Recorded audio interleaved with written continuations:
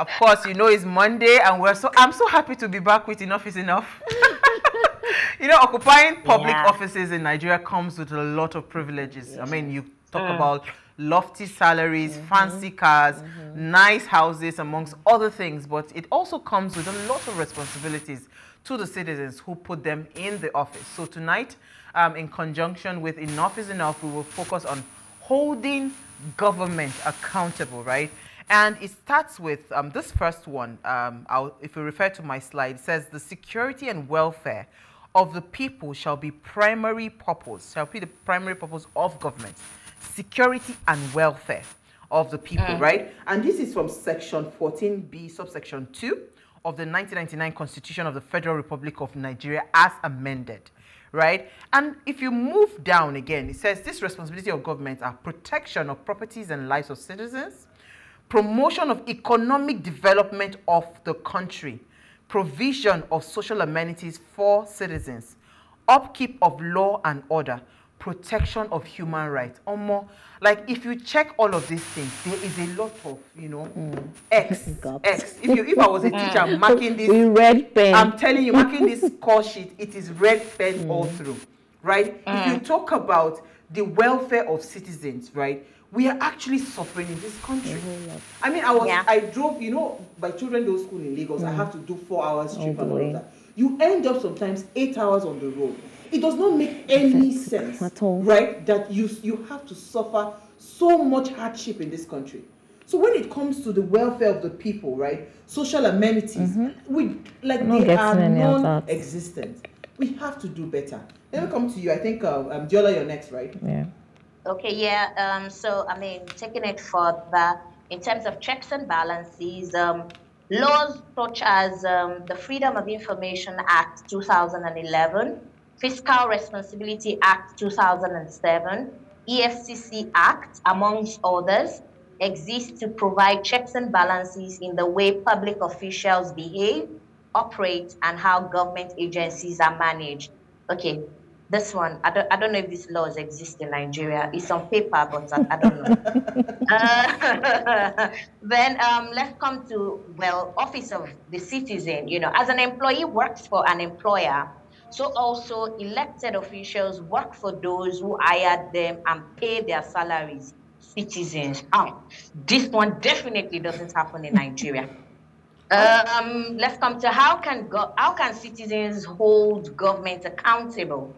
Understand the roles and responsibilities of each arm of government and how they serve you. That's one. Number two, stay up to date with current events by following reputable news organizations. Number three, support and engage with journalists, activists, legal experts, and civil society organizations to monitor government actions and advocate for policy changes. Hmm. Number four, if you can, if you see something, say something. Expose corruption, misconduct, embezzlement, and nepotism in government wherever you witness it. Hmm. Number seven, participate in public hearings, Twitter spaces, community forums, and town hall meetings to voice your concerns, pro- propose solutions, and demand accountability from elect, elected officials. I mean, all these things, they, I mean, this is what we're expected to do, but I'm not very sure that um, we are even, we, we have the, we're able to do any of this. It- It's, it's, it's very, this is a lot of power to, you know, the citizens. And it's interesting that as we progress in this politeracy, you know, we begin to understand our own um, strength and um, what is expected of us. And I think that if we can do just a fraction of this, honestly, I think um, it will be a step in the right direction. But again, I mean, this is Nigeria. Things are not just, um, you know, it's not all Oh, I think Black we, and I, I think we can we can get better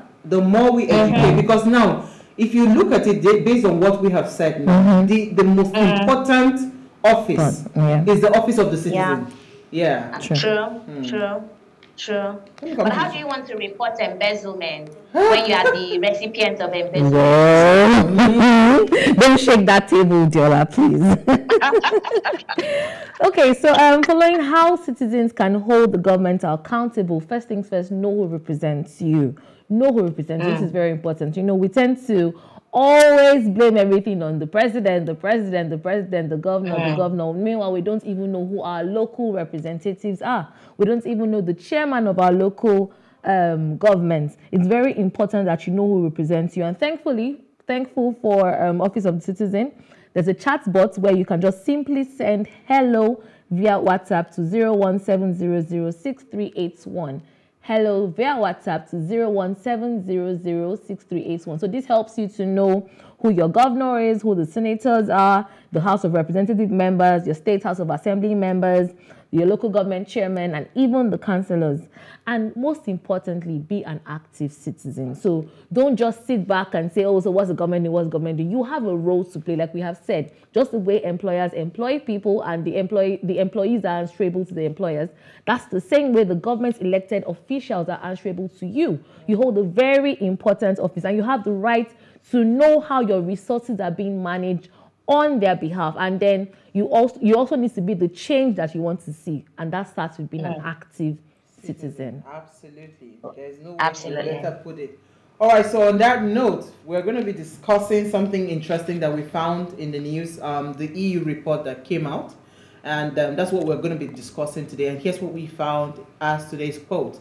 In just one month in office nigerians appear satisfied with the, um, the decisive leadership of President Tinubu and the manner he is redirecting the country to the path of fiscal sustainability and social economic reforms. We urge the EU and other foreign interests to be ob objective in all their assessments of, in, of the internal affairs of our country and allow Nigeria to breathe. and this came from the presidency. That's the quote. All right, so standard bearers of the People Democratic Parties, right, in the 2023 general elections, Atiku Abubakar and his Labour Party counterpart, Peter Obi, have attacked the presidency for rejecting the European Union final report on the February 25th uh, presidential election. The EU Observer Mission, in a briefing last week, faulted the polls, owning um, to the enduring systemic weaknesses. Now, the presidency, however, rejected these claims. So today we we will we'll be discussing the federal government's rejection of the European Union's um, election final report, and we're asking what's your take on it. But first, let's quickly go on a break. When we come back from that break, we'll see what we found in the news.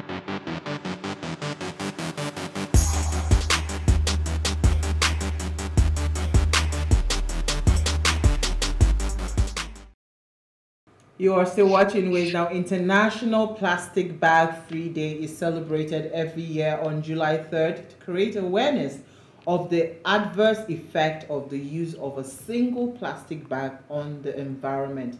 And this day is celebrated to remind communities, organizations, and people worldwide to avoid the use of plastic bags in their daily use. Plastic bags take hundreds of years to decompose, endanger wildlife, and also increase pollution. So, as much as we can, let's avoid the use of paper um, plastic bags. Now, a lot of companies are moving to paper, paper bags. bags yeah. Then, for people that even have those plastic bags, they use the reusable ones mm-hmm. so that you just keep on, you, you know, using those ones. Yeah. I mean, yeah. here they see the answer you see. I mean, if you go to more developed countries, countries mm-hmm. I mean. Like my sister has a permanent carton in her in her the trunk of mm-hmm. her car. She just throws. As she's buying the things, she's throwing them inside. The, you know, yeah. there was a documentary I watched one time of um, um I think it was in India, the mm. ocean. Oh my goodness, when they there were some fishes they saw, you know, that had died. When they cut them open, mm. you see mm. the the, the, the stack of plastic um, um, inside Containers. the stomach of the the fish. I said, wow it's a lot. We or even going too far. yeah. If you go to these beaches that we have around here at some point, especially during the rainy season, when the water has, when the ocean has come to the shore like yeah. that, you see how dirty it is, and that's because of uh, the way we trash. First of all, we have a very terrible trash system in this country, but then I believe that I like those paper bags. Anytime I go to restaurants and I order takeout and give me, they're really cute. So I don't know why everybody cannot even start to adopt paper using bags, those paper right? bags. Yeah, those nylon bags are they're, they're ugly. they're a bit, they're, they're a bit. I think they should start selling them so that it would dissuade people from. Right. I mean, if you go out of the country, they you actually when you go shopping, you have to buy the the, the paper, the, paper uh, the nylon bags. Mm, you know, okay. so you you you without telling you, they dissuade you from using it, you know, when you know that you have to buy it just to pack your stuff. So like Uwa said, I mean, just having reusable bags and then, you know, finding alternative alternative ways to do that. And again, of course, there has to be a lot of sensitization. Mm. I'm not very sure that people know how how disastrous it is yeah. and how much harm it can it can cause in the environment. I mean, look at our drainages and all that. It's either um, all these paper, um, plastic, um, styrofoam um, plates, you know, or all these nylon bags, and people just trash it on no, the road. So they eat bones, they trash it on the road. They, they tra- I mean, it's crazy. Yola, let me help you. Yesterday, we went to yeah. Ojodu Bergana. Mm. So when we're coming back into Lagos, because of the mm. the traffic, we mm. had to detour through that river valley okay. road. Yeah. So we, yeah. now, we now came out that Ojodu Bergana. Mm-hmm and my sister said, please, are we still in Lagos? I said, you are in Lagos, very much in Lagos. If you see the heap oh. of mm. um, rubbles, that mm. like plastic uh, sachet water, all the PET mm, bottles, like they had dug everything out. If you see the heap on the road, I literally could not believe that. This same Ojodu Berger that Ambode cleaned up. Do you understand? Oh, now the median, right? Some of the median that they had put to so that the people to to encourage people to use mm-hmm. the they have removed ah no no no no this country we're a special breed. Honestly. We're a special breed. Let's take our what's in the news. Let me come to you Diola. Okay um so my headline news is um four year old dead four infected as um diphtheria enters Nigeria from Niger. Um the Federal Capital Territory administration has confirmed the outbreak of diphtheria, a deadly disease, which has now claimed the life of a four-year-old boy out of five reported cases. Um, the director for FCT Public Health Department, Sadiq Abdurrahman, who made the declaration Monday in Abuja, said information available to the department indicated that the disease was imported from neighboring Niger, um, Niger State, no, sorry, Niger State, you know. Um, he discussed this two weeks ago and um, alerted the public on the possible outbreak of the disease in Dei-Dei, with eight suspected cases reported. Um, this has gone on to, I mean, it's gone on to be tested, the samples for testing at the National Reference Laboratory in Gaduwa, as well as the Nigerian Center for Disease Control. But um, for the purpose of, um, okay, so before I come to, for the purpose of us who don't know about this disease, um, it is advised that, um, I mean, um, residents should visit the over 400 vaccine outlets across the territory to get vaccinated against the disease. Okay, so um, I mean, when I saw this, I, for one, I've never heard of this um, word before. So apparently, the um, diphtheria is caught by coming in contact with droplets from respiratory tract of an infected person, particularly spread by coughing or sneezing. If the um, now this um, it, it can also be spread through wounds or lesions from an infected person, and um, there is not much that causes this disease uh, outside of um, when we when we when we um, have um, unhygienic practices we live in very dirty environments and all that. You know, it's a bacteria.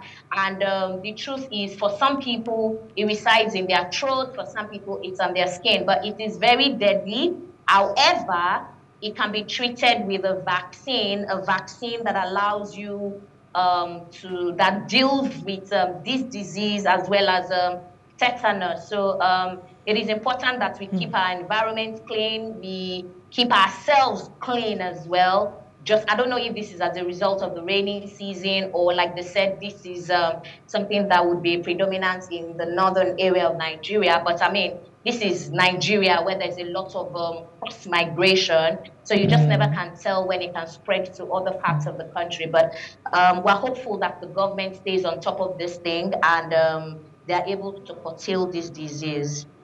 As well, oh. Um, All right, so let me come to you. Okay, so NYSC blames banks for delayed corpers allowances. I know a few corpers, and I've been seeing them ranting on Twitter and on their social oh, media. That's true. Have joy. I'm sure you don't. You're not being paid either.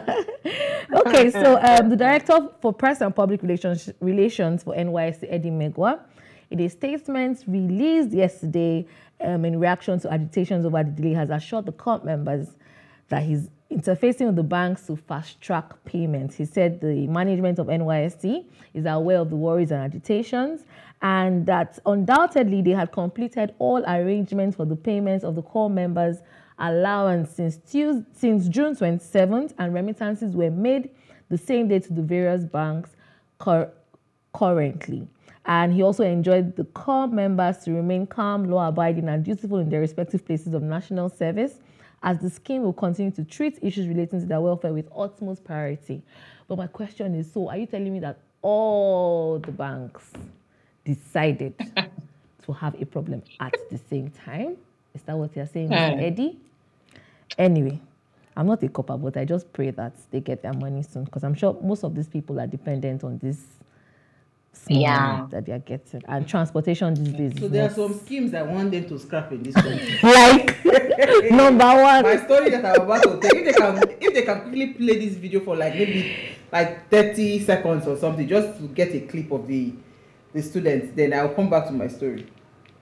JAMB program to print these results, and this is what they gave me. This is the result here. So this this is my aggregate 362. This is exactly how I printed it. I downloaded it from that site. So they now saying that I forged my results is what I don't know, and I'm traumatized that they accused me of forging my own results because I'm not capable of this forging results. This is the evidence. Okay, they say that I forged my results. They scanned this QR code and uh, it showed another name, a Yoruba name, Omotola Afolabi, 138.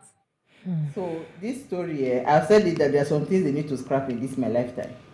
JAMB is one of them, and um, First of all, I don't believe JAMB as an exam is a true test of knowledge because the way, you know, objectives, I can literally do kalu kalu, pumping, pumping, pumping, and I will come out with a score, right? There's no how I will score zero. If I do that guesswork and all of that, that's number one. There. Number two, right? There are strong allegations that JAMB has made, right? They have come out to say that this girl, Ejikeme Mesoma, I think that's her mm, name, yeah. that she allegedly inflated her result from 249 to 362, right? In these um, exams are just um, um, just concluded exams, parading herself as the top scorer. Mm.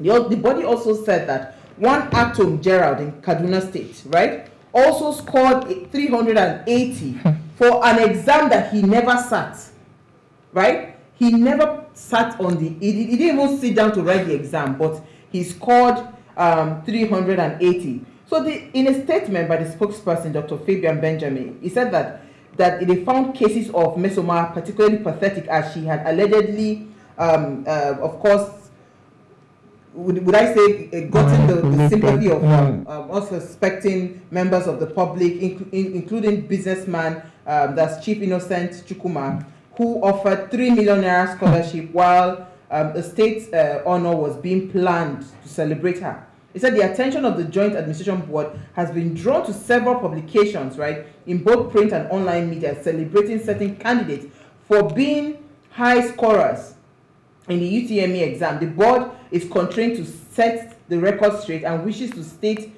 unequivocally that many of these results, which many of these candidates are parading, are fake. In many instances, some of these candidates had actually obtained far lower scores than they are claiming and had used some of the funny uh, software packages to manipulate their results to uh, deceive unsuspecting members of the public. So I want to speak to the spokesperson of JAMB. right? The spokesperson of JAMB, Dr. Fabian Benjamin. How is it possible that an examination such as JAMB can, you know, so except you're telling us that your server is compromised. For your information, you people have an, a case to answer with me.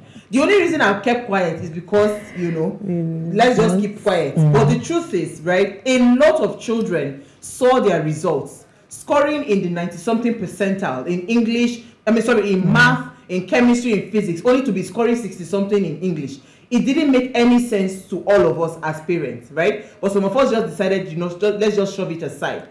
So if you as a body, you were being sincere, a lot of these people there was somebody that claimed that he got a very high score mm. right? I was wondering my son's score was higher than him and he was saying that he was the top scorer. So a lot of people a lot of people have been parading a lot of as results yeah. since. But you as a body what was the appropriate thing to do? Were you not supposed to be come the one to come out from day one? Immediately the results came out. Were you not supposed to publish those results and say okay of these course. are the top 20 scorers these are the top 100 mm-hmm. scorers mm-hmm. no. Now you are saying that the, and that's why the girl brought out that video saying that this thing she went to the school because in JAMB yeah. all you need to do is to send a short code they will send you the result if you want to print it you have to go on a portal mm. so how did she manipulate the result from 249 to, to 362 it's not possible and what she then alleged in this video she was saying that if you scan that code, barcode yeah. it brought out somebody Another else's name, name. Yeah. do you understand so now it tells us that there is something fundamentally wrong with that sure. examination body So JAMB, tomorrow I will face you people because I want to discuss the matter. I am sure that many people would call in to say that they these are the, the problems same. that they are experiencing. Yeah. And I think that if you're not competent enough to handle that examination, they should scrap it. I've never been a fan of JAMB. Mm. I will never be a, a, fan of JAMB. I would rather we do WAEC and let the universities just you know conduct their entrance examination. Do you understand? Yeah. Because I don't understand why we we'll do multiple exams. There's post UTME, there's, there's UTME, there's this, there's that JAMB, I think it is, I feel like it is very, very compromised. And they need to come out to explain. It's not the one that they are coming out to say that people are bringing fake results. They need to under, they need to tell us how this girl is able to print that result from their website, from their portal, and they are claiming that the result is fake.